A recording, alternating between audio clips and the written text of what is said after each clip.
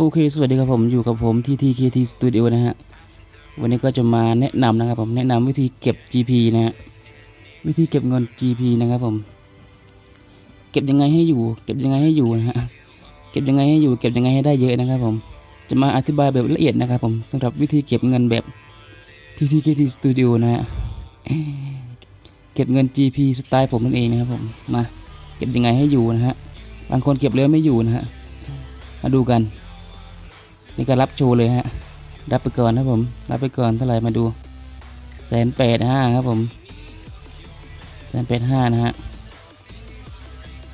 เฉลี่ยต่อวันได้ประมาณแสนหนึ่งนะนะผม เฉลี่ยต่อวันนะ แบบนะฮะประมาณแสนหนึ่งแบบเล่นบ้างไม่เล่นบ้างอะไรเงี้ยได้ประมาณแสนหนึ่งนะครับผม ถ้าใครขยันเล่นก็ได้อาจจะได้มากกว่านี้นะครับ อาจจะได้สองสามแสนอะไรเงี้ยนะผม วิธีนี้ไม่รวมนะฮะ ไม่รวมพวกอันนี้นะ ไม่รวมอีเวนต์ทัวร์นะครับผม ไม่รวมอีเวนต์ทัวร์นะ สไตล์ผมไม่รวมอีเวนต์ทัวร์นะครับผมสังเกตว่าผมยังเล่นไม่เสร็จเลยผมยังเล่นไม่เสร็จเลยนะฮะ อันนี้ก็ยังไม่เสร็จนะผมยังไม่ยังไม่สุดคะแนนยังไม่สุดสามหมื่นนะ คือเงินที่ผมหามาได้วันวันละแสนเนี่ยคือ ไม่รวมพวกอีเวนต์ทัวร์นะ อีเวนต์ทัวร์นี่คือได้ครั้งเดียว ได้ที่ละครั้งนะครับอีเวนต์ทัวร์ อันนี้ไม่รวมนะ ไม่รวมทัวร์นะครับผม มาดูฮะ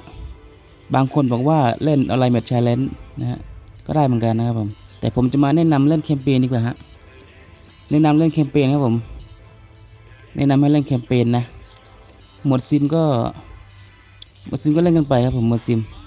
ใครว่างก็เล่นกันไปฮะ ใช้ auto click ก็ได้นะ auto click ก็ได้ไม่โดนแบนนะครับ ใช้ auto click ก็ได้ไม่โดนแบนนะอันนี้ ใช้กันไป อันนี้ก็แพ้มั่งชนะมั่งก็ แล้วแต่ดวงแล้วแต่อันนี้นะฮะอันเนี้ยนะครับผม แนะนำทีมนะ แนะนำไม่ใช้บอลขาวนะ บอลขาวจะเสียค่าต่อสัญญาที่ถูกมากๆครับผม จะคุ้มที่สุดนะฮะใช้ชุดประมาณนี้ใช้ชุดผมใช้ชุดสัญชาติไทยนะ ผมใช้สัญชาติไทย มีทองใดมาสองตัวนะครับ แต่ก็ไม่เป็นไรนะฮะผมใช้ชุดนี้นะครับผม หมดซิมผมไม่ค่อยเล่นไงนะฮะ แต่ก่อนชอบเล่นหมดซิม เดี๋ยวนี้มันยากขึ้นนะผมมันยากขึ้น ไม่ค่อยผ่านครับผมก็เลยกลับมาโหมดนี้ฮะโหมดธรรมดาครับผมโหมดธรรมดา ก็มีสูตรอันนี้มีมีสูตรเล็กๆน้อยๆนะผมที่ไม่ต้องเล่นให้ครบ 10 แมตช์นะฮะที่เราไม่ต้องมากดเล่นให้ครบ 10 แมตช์มีสูตรอีกนิดนึงนะฮะเล่นไปก่อนนะครับผมเล่นให้ไม่ครบครบตามพอยที่เขากำหนดอะอันนี้ 14 ใช่ไหมเราก็เล่นให้ครบ 14 แต่ผมได้ 15 แล้ว คือผมไม่เล่นแล้ว ผมจะใช้ auto click เลยนะ จะใช้ auto click เลย auto click วางตำแหน่งตรงเนี่ยTo Match เนี่ยวางให้ขอบฝั่งซ้ายๆเนี่ยสักสองอันหนึ่งสองซ้ายสองอันเนี่ยนะฮะอย่าไปวางทับตัวเลขไอ้ To Match นี่นะฮะวางฝั่งซ้ายเนี่ยสองอันใกล้ๆกันนะผมวางใกล้ๆกันนะฮะอันนี้คือวิธีของผมนะสำหรับคนที่แบบไม่ซีเรียสเรื่องสกอร์การยิงอะ่ะแพ้กับแพ้แน่นอนนะผมแต่เราได้เงินแน่นอน คือเราไม่ต้องมากดเล่นทีละแมตช์ทีละแมตช์อะไรเงี้ย แต่เราได้เงินแน่นอนเพราะว่าเต็มเราครบแล้ว เราปั๊มมาเลยฮะใช้ออโตคลิกวางตำแหน่งครับผมตำแหน่งเนี่ยอย่าไปทับตำแหน่งทูเม็ดนะครับวางสองตำแหน่งนะฮะใกล้ๆกันนะครับผมตำแหน่งเนี่ยสีน้ำเงินเนี่ยอย่าไปทับตำแหน่งทูเม็ดนะอย่าไปทับเลขดีกว่าอย่าไปทับเลขวางอย่าทับตัวเลขนะครับผมวางอย่าทับตัวเลขอันนี้คือวิธีของผมนะ วิธีของผมนะอันนี้นะครับผม นนี้ก็ชนะมาได้แล้ว คือเม็ดนี้งงมากยิงได้แปดศูนย์คืองงมากเลย มันน่าจะฟุกนะครับยิงได้แปดศูนย์นะฮะ ผมเล่นประมาณห้าเม็ดนะห้าเม็ดคือจบ เล่นจบห้าเม็ดเลยฮะ คะแนนครบที่เหลือก็ใช้ออโต้คลิกครับผม ไม่ซีเรียสเรื่องผลนะ ผลอาจจะแพ้สักสิบหนึ่งไม่ไม่มีหนึ่งแน่นอนสิบศูนย์เก้าศูนย์แปดศูนย์สี่ศูนย์ก็สี่ศูนย์ก็เคยมีที่แพ้น้อยมากคือสี่ศูนย์แค่สไตล์นี้เหมือนเดิมนะฮะแนะนำอย่าให้เกินพันห้าดีกว่าฮะ อย่าให้เกินพันห้าเราจะเล่นง่ายนะครับผม ผมอยู่ประมาณพันสองก็โอเคแหละสำหรับผมนะ โอเคแล้วผมครบนี้ครบห้าแมตช์เลยนะ ผมจะไม่เล่นแล้วผมจะใช้ auto click เลยฮะ อันนี้ แต่ผมไม่ค่อยมีเวลาป่ะไม่ค่อยมีเวลาเล่นเลยครับช่วงนี้ ใครที่ว่างๆก็จัดได้เลยนะ เล่นห้าแมตช์ auto click ห้าแมตช์นะฮะ ก็ได้ไป ได้แน่นอนครับผม ได้แน่นอน ส่วนโหมดซิมเนี่ยไม่ค่อยอยากเล่นเท่าไหร่เดี๋ยวนี้ มันรู้สึกว่ามันบอทมันยากขึ้นนะฮะ สู้แบบนี้มันยากผมไม่ค่อยชนะครับผมนะฮะอันนี้จะเป็นวิธีของผมนะ ส่วนอีกวิธีที่คนอื่นแนะนำมาก็คืออันนี้ฮะ online match challenge ครับผม อันนี้เป็นวิธีที่ FC FC แนะนำมานะ ผมก็ยังไม่ได้ลองหรอกเนี่ยonline match challenge ก็ยังเล่นไม่จบอยู่ดี ไม่ค่อยมีเวลาเลยนะฮะเป็นตัวที่ 3 นะตัวที่ 3 เก็บ 5 คะแนนนะผม เก็บ 5 คะแนน2แมตช์ต้องเก็บได้5ไม่สิ มันให้เล่น 3 แมตช์นะครับ 3 แมตช์คือทำยังไงก็ได้ให้ให้ได้ 5 คะแนน ถ้า 2 แมตช์ได้เลยก็นะครับผม เล่น 2 แมตช์ให้ชนะก็พอแล้วถ้าถึง 3 แมตช์เนี่ยผมว่าไม่คุ้มแล้วฮะ ถ้าต้องเล่น 3 เม็ดผมว่าไม่คุ้ม ถ้า 2 เม็ดนี่กำลังโอเคนะครับผม 2 เม็ดต้องชนะทั้ง 2 เม็ดนะครับผม แต่ก็เสี่ยงฮะ เสี่ยง นักเตะก็ต้องใช้นักเตะที่ดี ต้องเตะแบบบอลดำเลยอะวันบอลดำประมาณ 3,000 ขึ้นอะผมลองใช้ไอ้ นักเตะพันสองแล้วสัญชาติไทยแล้วสู้ไม่ได้ครับผมสู้ไม่ได้เลย มันจับคู่ว่าแบบค่าพลังให้สูสีกันก็จริงแต่สู้ไม่ได้ครับผม เราสู้ไม่ได้ ต้องจัดแบบชุดใหญ่คือต้องต้องให้ชุดใหญ่อะให้เราถนัดที่สุดอะครับ ถึงจะสู้ได้ ต้องชนะสองเม็ดนะถึงจะถึงจะคุ้ม ถ้าต้องเล่นเม็ดสามไม่ค่อยคุ้มเท่าไหร่ผมว่านะฮะสองเม็ดเจ็ดพันก็โอเคนะสองเม็ดเจ็ดพันนะฮะสองเม็ดเจ็ดพัน แต่ก็ค่าต่อสัญญาก็ค่อนข้างแพงนะฮะสำหรับตัวที่เราจะเล่นนะ ตัวหนึ่งก็พันกว่าอยู่นะ ตัวหนึ่งก็หลักพันกว่านะสำหรับอันนี้ แต่ผมอันนี้ผมยังไม่ได้เล่นนะ ยังไม่ได้ลองเลยนะเล่นแต่เคมเปญนะครับผม ส่วนการต่อสัญญานักเตะไอ้พวกอีเวนต์ก็นะ ผมจะใช้ประมาณนี้ ให้เสียค่าต่อสัญญาให้น้อยที่สุดนะฮะให้เสียค่าต่อสัญญาพวกที่น้อยที่สุดนะ เพราะเรามีไอเทมอยู่แล้วไง เรามีไอเทมอยู่แล้วนะฮะถ้าใครจะจัดตามก็จัดนะฮะ เอาไปเล่นพวก online match challenge ก็ได้นะ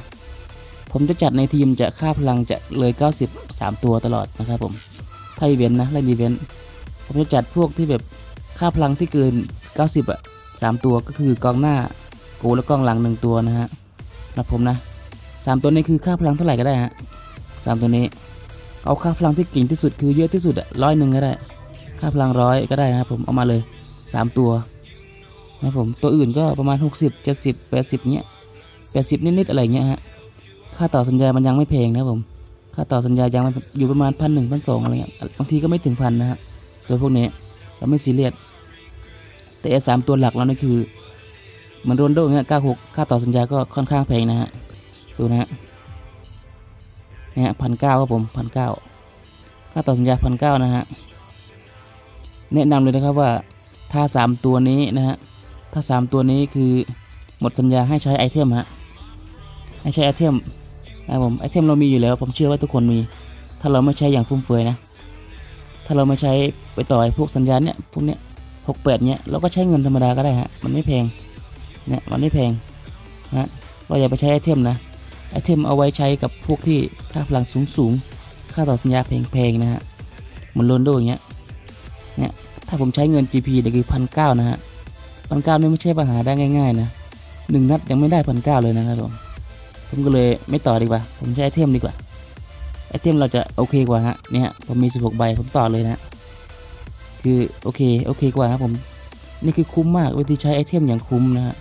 แล้วก็ประหยัดเงินเราได้เยอะเลยนะ ประหยัดเงินเราได้อย่างเยอะนะครับผม อันนี้คือวิธีการต่อสัญญาแบบประหยัดเงินนะฮะใช้ไอเทมให้คุ้มครับผม ใช้ไอเทมให้คุ้มนะฮะนี่คือเป็นวิธีเก็บเงินของผมนะ มีอะไรอีกล่ะนะฮะมีอะไรอีกก็มี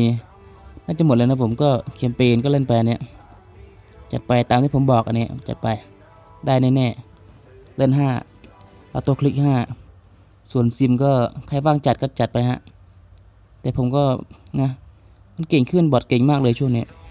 บอทเก่งมากนะฮะทัวห้าดาวผมไม่ชนะคิดดู ทัวห้าดาวชนะยากมากช่วงนี้นะฮะแล้วต่อไปก็ online match challenge ครับผม FC บอกมาอะไร match challenge ยังไม่ได้ลองนะฮะสองแมตช์เจ็ดพันนะครับผมไปลองกันได้นะฮะจัดทีมเหมือนที่ผมบอกอะฮะเอาตัวที่เก่งที่สุดในทีมสามคนมาเลย ส่วนที่เหลือก็อยู่ประมาณ 70 นะฮะ ไม่เกิน 80 ก็ได้ มันจะช่วยให้เราลดค่าต่อสัญญาได้เยอะมากครับผม ส่วนใน 3 ตัวนั้นก็ไอเทมฮะทุกคนผมเชื่อว่าทุกคนมีไอเทมเพราะว่าทุกคนอาจจะผ่านพวกอีเวนต์นี้มาแล้วอีเวนต์ทัวร์นะฮะอีเวนต์ทัวร์เนี่ยวันนี้ก็ได้สองครั้งถ้าผมเล่นจบนะได้อีกสองครับผมนะฮะอันนี้คือวิธีแนะนำนะแนะนำถ้าเก็บเงินได้แบบวันละแสนเลยนะ ถ้าขยันได้วันละแสนนะฮะได้มากกว่านั้นอีกผมว่า ได้วันละแสนแล้วก็ได้มากกว่านั้นนะโดยแบบเสียค่าต่อสัญญาให้น้อยที่สุดนะฮะ อันนี้ก็เป็นวิธีของผม แคมเปญจะใช้บอลขาวนะครับผม ค่าต่อสัญญาก็ 10 เมตรประมาณหมดไป3,000นะฮะ3,000ก็ถือว่าคุ้มนะฮะ3,000นนะครับผม โอเค ก็วิธีเก็บเงินแบบสไตล์ของผมก็ประมาณนี้ฮะ ก็ลองเอาไปใช้กันดูนะ แคมเปญนะฮะ แคมเปญแนะนำแนะนำแคมเปญนะฮะ แนะนำแคมเปญนะครับผมที่ผมแนะนำนะแคมเปญนี้เลย เล่น 5 เม็ดเล่นยังไงก็ได้ให้ครบตามพอยที่เขากำหนดนะฮะสำหรับคนที่เล่นพวกอะไรไม่ใช่เล่นแล้วไม่ผ่านคือ รู้สึกว่ามันเจอคนยากๆเนี้ยนะฮะมาทางนี้ได้ครับผม 5 เม็ดนะฮะเล่น 5 เม็ดที่เหลือออโต้คลิกครับผม ไม่ต้องไปสนใจนะฮะว่าจะแพ้หรือชนะนะฮะจัดไปครับผม โอเคสำหรับวันนี้ก็ไปก่อนนะครับผมไว้เจอกันคลิปต่อไปนะฮะ จะพยายามทำคลิปให้ลงลงให้ดูทุกวันนะครับผมโอเค คืนนี้มีสตรีมนะครับคืนนี้ฝากกดไลค์กดแชร์กดติดตามและกดกระดิ่งด้วยนะครับผมจะได้ไม่พลาดคลิปใหม่ ๆ นะฮะโอเค วันนี้ไปแล้วครับผมบ๊ายบาย let's go